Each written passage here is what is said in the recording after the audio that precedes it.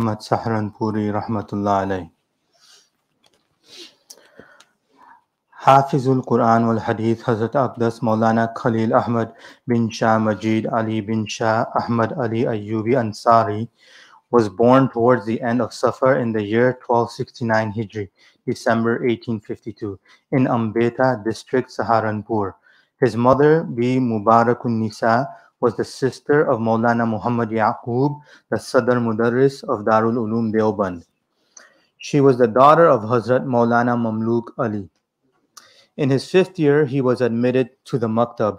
For the sake of Barakat, Hazrat Maulana Mamluk Ali initiated the Bismillah of his primary learning in the Maktab. In view of his natural intelligence and brilliance, he completed the Quran Majid very quickly. He studied the primary Urdu and Farsi textbooks in Ambeta by several ulama. Thereafter, he accompanied his paternal uncle Maulana Ansar Ali to Gwalior, where he commenced the study of the primary textbooks of Arabic grammar. After a short while, his father, Shah Majid Ali, resigned from, this, from his work and returned home. He recalled Hazrat Saharanpuri from Gwalior. His education was assigned to Maulana Sakhawat Ali Ambetwi. During this time, some relatives insisted that he be admitted to English school.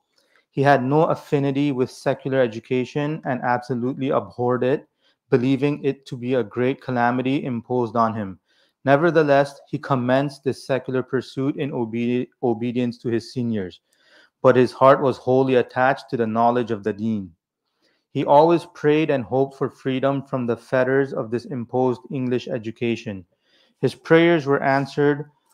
His prayers were answered by the opening of Darul Ulum Deoband in Muharram 1283. His maternal uncle Maulana Muhammad Yaqub was appointed the chief mudarris. Hazrat Saharanpuri then bid farewell to English education. Taking the permission of his parents, he went to Deoband where he commenced studies from Kafia. Six months later, the foundation stone of Mazahirul Ulum was laid in Rajab 1283. Here too, a maternal uncle of Hazrat Aqdas, viz. Hazrat Maulana Muhammad Mazhar, who was the Khalifa of Hazrat Gangohi, was appointed the Sadr Mudarris. Since Allah Ta'ala had willed that Hazrat become one of the trained products of Mazahirul Ulum, the circumstances were created for his transference to Mazahirul Ulum. Here he entered the class of Mukhtasar, Mukhtasarul Ma'ani.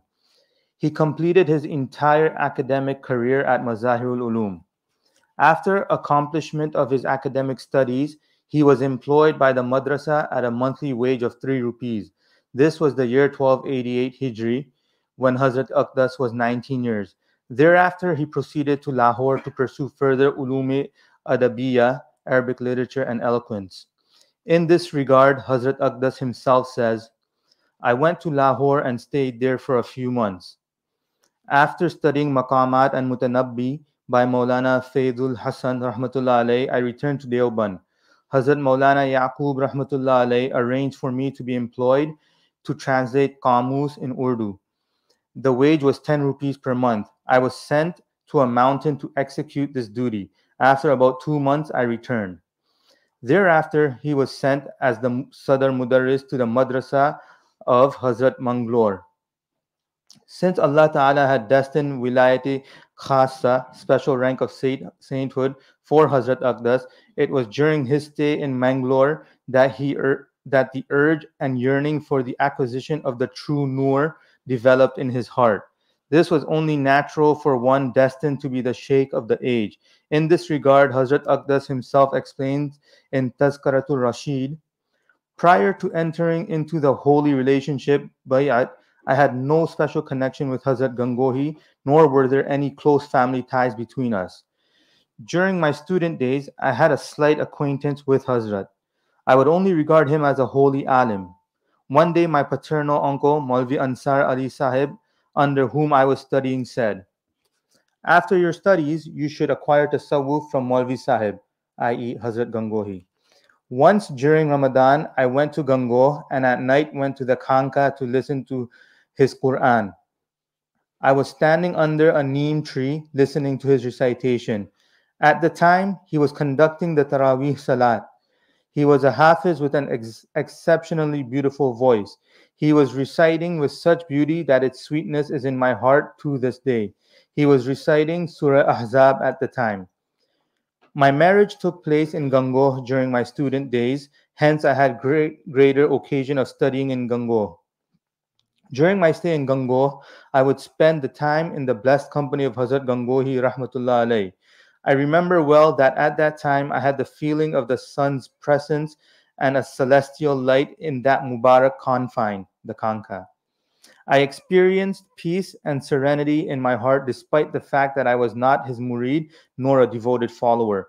Secondly, those who were present for spiritual and moral reformation, viz. Hafiz Abdul Rahman Sahib, Maulvi Altafur Rahman Sahib, etc., had become embodiments of simplicity and virtue. Their moral character shorn of all evil attributes and adorned with lofty angelic qualities, coupled with their love for the Sunnah and dislike for Bid'at, made them replicas of the Sahaba. Nevertheless, the thought of requesting Hazrat for bay'at did not occur to me. After termination of my studies, when I was sent as a mudarris to Madrasa Mangalore in the district of Saharanpur, there developed in me a peculiar condition and inclination towards ibadat. At, at that time, the halqa of Janab Qadi Muhammad Ismail was in great prominence. The thought of joining his the thought of joining his gathering occurred to me. However, I also felt that I should first consult my seniors and seek their permission. Thus, I consulted with Maulana Muhammad Yaqub Rahmatullah alayh, who wrote to me in reply The path towards Allah are according to the souls of people. Reaching Allah is not confined to the way you have adopted, although it is also a way of reaching Allah. Presently, it is not appropriate for you to join the halqa. About this time, 1288 or 1289, the idea of bay'at occurred to me. Coincidentally, Hazrat Maulana Muhammad Qasim Nanotwi rahmatullah alayh happened to come to Roorkee. On my invitation, he stayed at Mangalore on his return. At night in privacy, I said, I have the thought of bay'at. In our surroundings are several buzurgs, yourself, Maulana Rashid Ahmad Sahib, Maulana Sheikh Muhammad Sahib, and Qadi Muhammad Ismail Sahib. I do not know what is best for me if you feel that it is best for me to enter into the association of your khuddam, then do accept me. Alternatively, whatever you feel best for me, do instruct me. In reply, Hazrat Maulana Rahmatullah made a long speech, the essence of which is this There is none better than Maulana Rashid Ahmad Sahib at this time. I said, He is extremely reluctant regarding bay'at if you intercede on my behalf, then this matter will be finalized. He responded, Good. When I come to Gangoh, then be there. I thus waited anxiously for the opportunity. When I was informed a few days later that Hazrat Maulana was going to Gangoh, I immediately went and said to Hazrat Nanotwi, When a gracious man promises, he fulfills. He smiled and said, Well and good.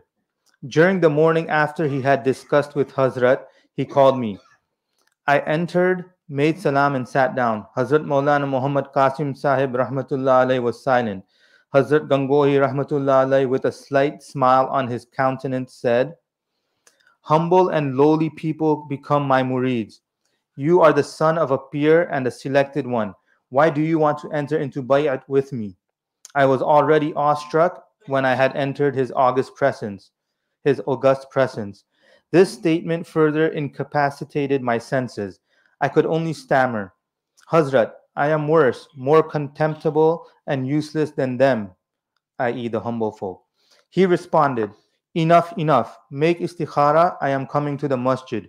I proceeded immediately to the masjid, made wudu, performed two rakats, and recited the Masnoon istikhara dua. On Hazrat's arrival, he asked, What is your opinion?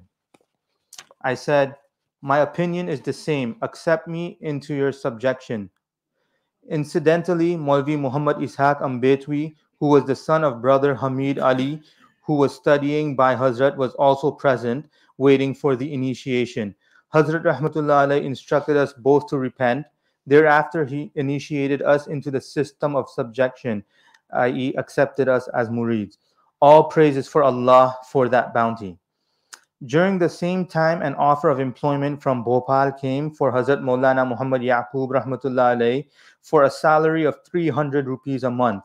Much pressure was put on him to accept this offer. However, in spite of him earning at that time 30 rupees per month, he declined the offer. He was then pressed to send another reliable person to take up the post. Hazrat Maulana Yaqub Rahmatullah alayh sent his nephew, Hazrat Maulana Khalil Ahmad Rahmatullah alayh. Thus, by the choice of his honorable uncle and on the approval of Hazrat Gangohi Rahmatullah alayhi, he left during the year 1293 Hijri to take up the post in Bhopal at the salary of 50 rupees per month. His residence was the mansion of Madarul Maham, and every arrangement was made for his comfort and wants. However, however, the spiritual effulgence which he had experienced in the former place was lacking here in Bhopal.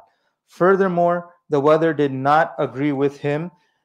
Furthermore, the weather did not agree with him. Maulana Khalil Saharanpuri rahmatullah therefore handed his resignation to his sheikh Hazrat Gangohi rahmatullah and requested permission to return. The reply which Hazrat Maulana Gangohi rahmatullah wrote is recorded in Tazkiratul Khalil. It is reproduced here. Brother Maulvi Khalil Ahmad Sahib, may your fuyud endure for a long time. Your letter was received today. In view of the weather, in view of the we- in view of the weather there not agreeing with you, your return is necessary. Relocating on account of the weather is confirmed by the hadith. However, since it involves livelihood, the matter is somewhat delicate. Therefore, until alternative arrangements are not made, leaving is not appropriate. It is therefore advisable to stay there for a while. You were much in demand in Muradabad. However, Maulvi Abdul Haq Puri has now taken up the post there, but he is unable to fulfill his duties as are required. If it becomes advisable, I shall endeavor there or elsewhere. I shall inform you after arrangements are made, inshallah.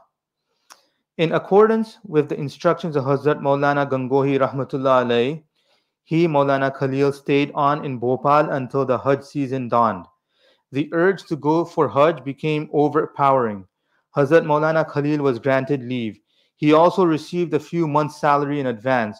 Although this money was not sufficient, his enthusiasm impelled him to proceed. This episode is described in detail in Tazkiratul Khalil. On reaching Makkatul Mukarramah, he presented himself at the home of Hazrat Haji Imdadullah Rahmatullah alayh. The pleasure of Anwari Batiniya, spiritual light, there was most wonderful. This was the first Hajj of Hazrat Maulana Khalil Ahmad Rahmatullah alayh. It has been discussed in great detail in Tazkiratul Khalil. After completing Hajj, his intention was to proceed to Medina Munawwara. However, the road to Medina was dangerous. Even those people who had already commenced the journey to Medina were returning because of the danger. Anarchy, strife, and killing were rampant. Hazrat Haji Sahib said, Maulvi Khalil Ahmad, what is your intention? I have heard the Hujjaj are returning home in large numbers on account of the danger and unsafety of the road to Medina. Maulana Khalil Ahmad replied, Hazrat, I have resolved to go to Medina Tayyibah.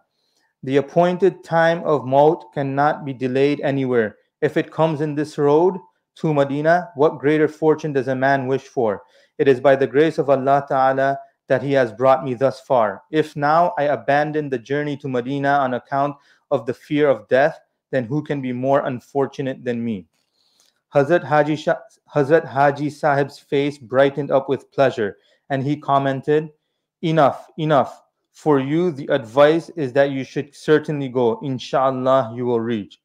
Thus, Hazrat Maulana Khalil took leave and set out for Medina Munawwara. He said, only I know of the great peace and comfort I experienced along the journey. I stayed about two weeks in the sacred precincts and reached home safely. In this journey, Hazrat Maulana Khalil Ahmad Rahmatullah received authorization in Hadith from Sheikhul Haram Maulana Sheikh Ahmad Dahlan and from Sheikhul Mashayikh Hazrat Shah Abdul Ghani Mujaddid Naqshbandi Dehlawi, who had taken up residence in Medina. This is recorded in detail in the beginning of Musalsalat. The authorization from Sheikh Ahmad Dahlan was re- acquired in Makkatul Mukarrama, while that of Hazrat Shah Abdul Ghani was obtained in Madinatul Munawwara after Hajj in the year 1294. After returning from Hajj, Hazrat Maulana Khalil Ahmad Rahmatullah alayhi had no intention of returning to Bhopal because the weather conditions were not favorable. After staying there, after staying a few days in his hometown, Ambeta, he left in Jamadul Ula 1294 for Sikandarabad in the district of Bulandshahr, where he took up a post as Mudarris in Madrasa Arabiya Jami Masjid. However, there However, here the people of Bid'ah vehemently opposed him. They left no stone unturned to harm him, hence he sought permission from Hazrat Gangohi Rahmatullah alayhi to return. However, Hazrat Gangohi Rahmatullah alayhi refused permission and wrote the following letter. Maulvi Khalil Ahmad Sahib, Assalamu alaikum wa rahmatullahi wa barakatuh. Your letter has been received and contents noted. Do not permit the latest developments to alarm you. In this world, in this world occur events which please and displease. Continue with your mission. If the opponent is bent on harming you, then know that the supporters is protect that the supporter is protecting you. As far as possible, do not resort to abandonment. It is better to keep all happy. Perhaps it will prove beneficial. Allah Ta'ala said, Thus, because of the mercy of Allah, you are affectionate towards them. However, there is no hope that this sect this Ahl Bidah will become pleased, especially when they are exhorted by their lecturers to oppose you. Wassalam. However, despite the affection and aff- affability shown by Hazrat Maulana Khalil Ahmad Sahib, the intransigence of the people there went on increasing. Hence, with the permission of Hazrat Gangohi Rahmatullah alayh, he handed his resignation and returned. In that very year, 1294, the month of Shawwal, an august group consisting of the Akabir of Hindustan departed for Hajj. In this group were the illustrious stars of knowledge and piety, viz. Hazrat Gangohi, Hazrat Nanotwi, Hazrat Maulana Mazhar, Hazrat Maulana Muhammad Yaqub, as well as other senior ulama. Although Hazrat Saharanpuri Maulana Khalil Ahmad rahmatullah had a great desire and wish to accompany this august caravan of seniors, Hazrat Gangohi rahmatullah did not consent on account of some difficulties regarding traveling arrangements. Moreover, because Hazrat Maulana Khalil Sahib had just returned from Hajj. This illustrious group returned from Hajj in the month of Rabiul Awal 1295. On their return, a letter from Maulvi Shamsuddin, Chief Justice of Bawal, Bahawalpur was awaiting Maulana Muhammad Yaqub Sahib. The letter was a request for a very highly qualified ustad. Many qualities were stipulated in the letter. The ustad had to be a young man, extremely intelligent, and expert in all branches of knowledge an embodiment of virtue and character, who could be an exemplar for students, etc. Hazrat Maulana Yaqub Rahmatullah selected Maulana Khalil Ahmad for this post. Hazrat would often say that he had declined the offer, saying that he was not adequately qualified.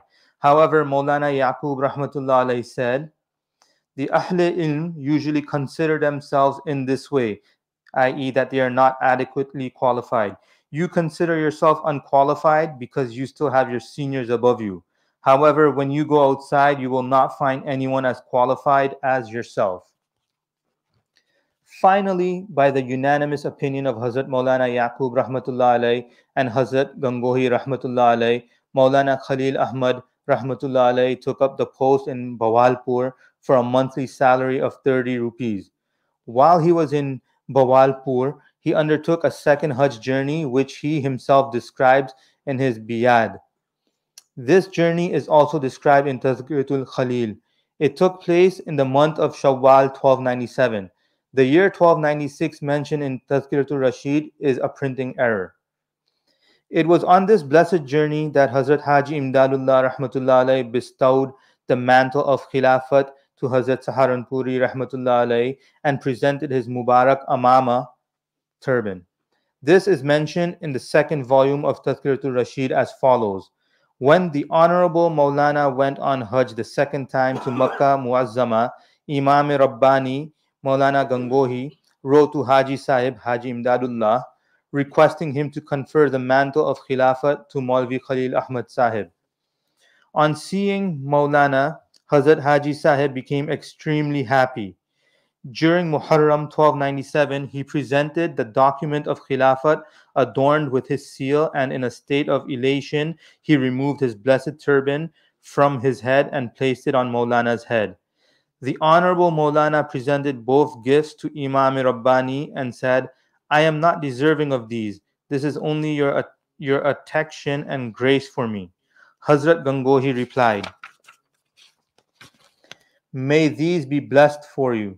He then signed the Khilafat Nama and handed it together with the turban to Maulana Sahib. The respect of Maulana Khalil was such that whenever he would initiate, make bayat of a murid, he would instruct him, after having made tawbah for past sins, to say, I have made bayat to Hazrat Maulana Rashid Ahmad Sahib on the hands of Khalil Ahmad. In this narrative, the date Muharram 1297 is a printing error. Hazrat's departure for Hajj was in Shawwal 1297. The turban mentioned above is the same blessed turban which Hazrat Saharanpuri Rahmatullah presented to my father. Hazrat Maulana Muhammad Yahya Sahib Rahmatullah on the occasion of the bestowal of the mantle of Khilafat to him. This episode is narrated by Maulana Ashik Ilahi Sahib in Tazkiratul Khalil. He writes, Maulvi Muhammad Yahya Sahib Marhum was my benefactor and sincere friend. His hidden excellencies and auspicious states require a separate volume. After all, he must have been a somebody for Imam Rabbani to love more than his own offspring. Hazrat Rabbani, i.e. Maulana Gangohi, often said that he was the staff of old age and the eyes of the blind. Occasionally, if Maulana Muhammad Yahya would disappear for a few minutes for some work, Imam Rabbani would become perturbed and restless. He spent 12 years in such love and affection which cannot be explained. This endured until the demise of Hazrat Imam Rabbani. Hazrat Maulana Khalil Ahmad Rahmatullah whose foresight had discerned had discerned the worth and value of Maulana Muhammad Yahya 12 years ago, went specially to Gangoh to present the turban with Murshidul Arab wal Ajam, Hazrat Haji Imdadullah had presented to him.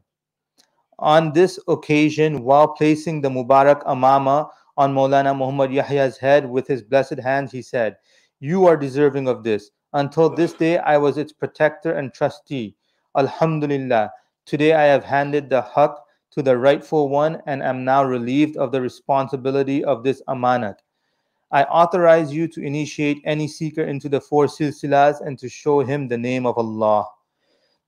The third and all subsequent Hajj journeys of Hazrat Maulana Khalil Ahmad rahmatullah were undertaken from Saharanpur. The third Hajj was after the heart-rending demise of Hazrat Qutub Alam Gangohi rahmatullah Consolation for the immense grief which he suffered as a result of this event could be obtained only from his presence at the holy grave of Rasulullah sallallahu His fourth Hajj was in 1328. In this year, Hazrat Aqdas Shah Abdul Rahim rahmatullah went for Hajj, accompanied by a large group of his khuddam and companions. Hazrat Saharanpuri accompanied Hazrat Aqdas Raipuri as far as Delhi.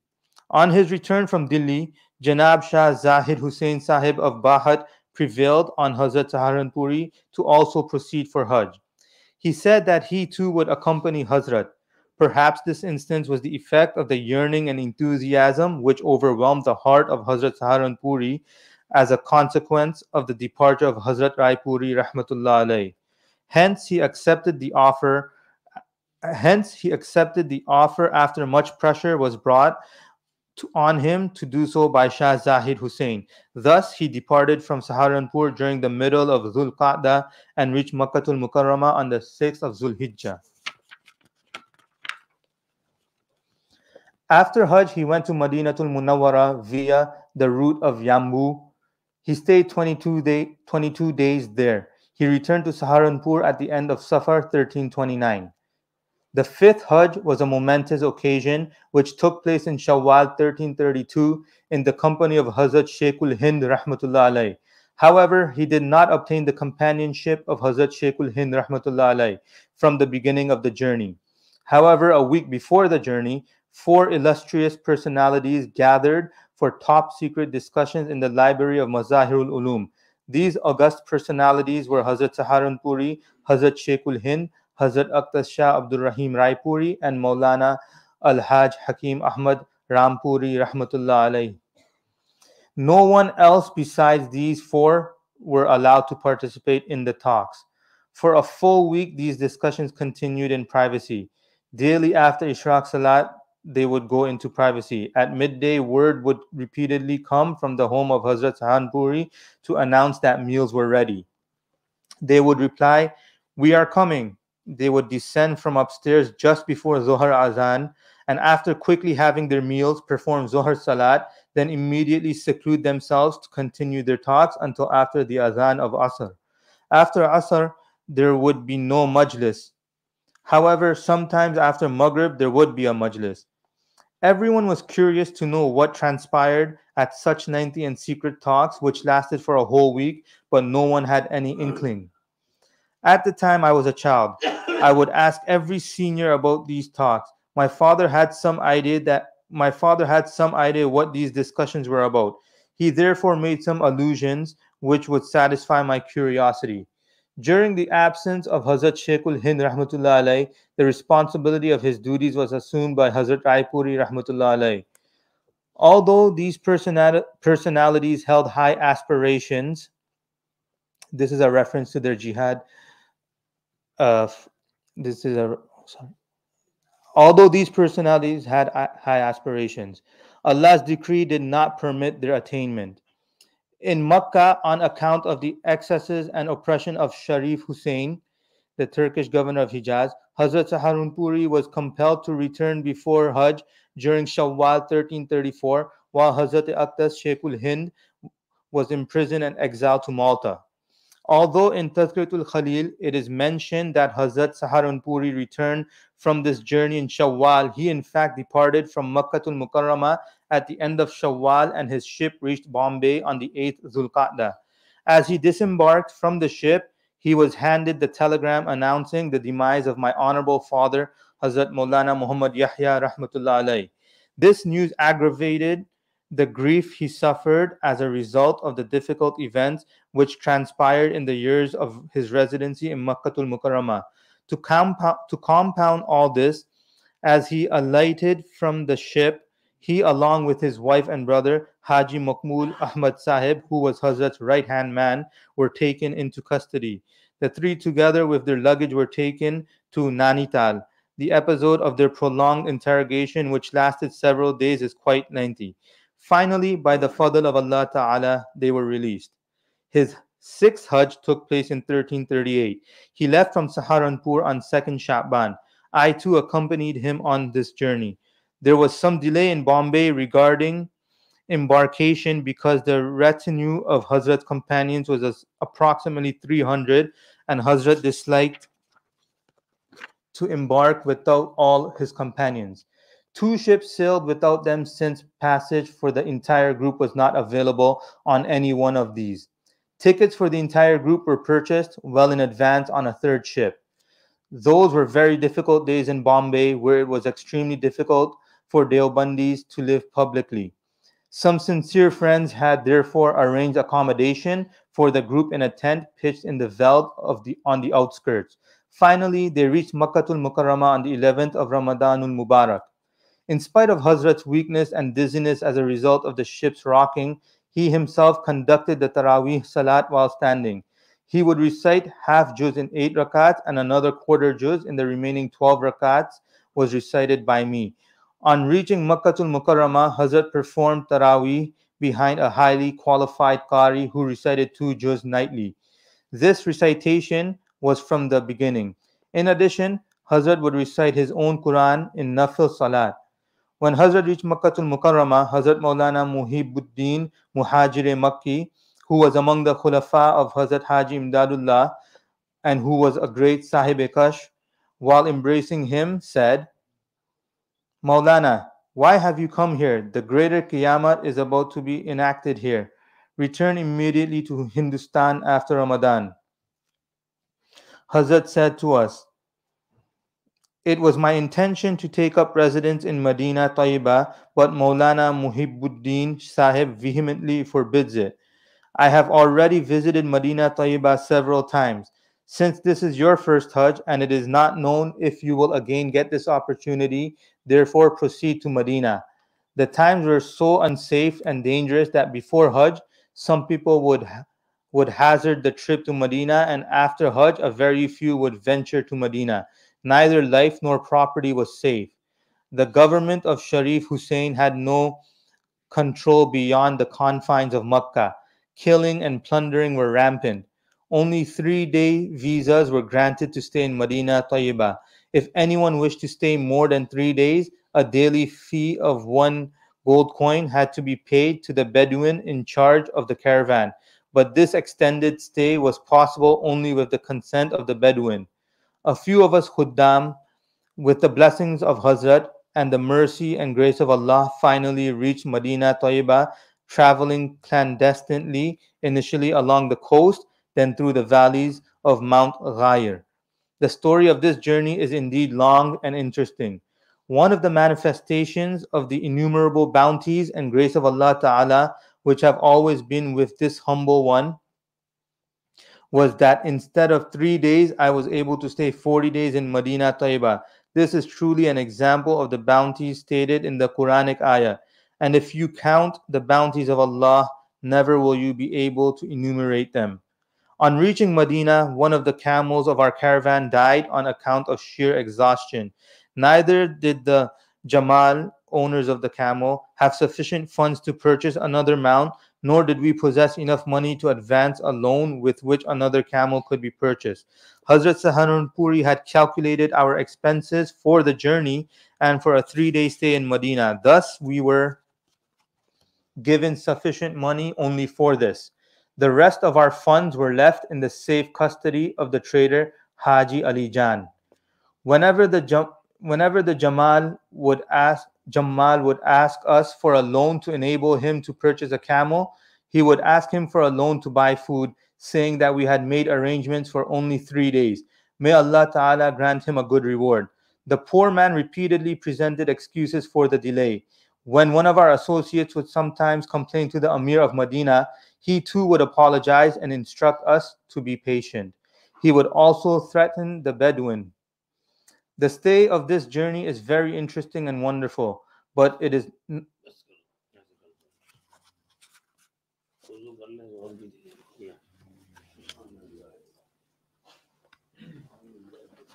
और भी मेहमान आए हैं इसलिए अब जरा कोशिश थाने में जल्दी जल्दी फटाफट करना पड़ेगा ताकि भीड़ हो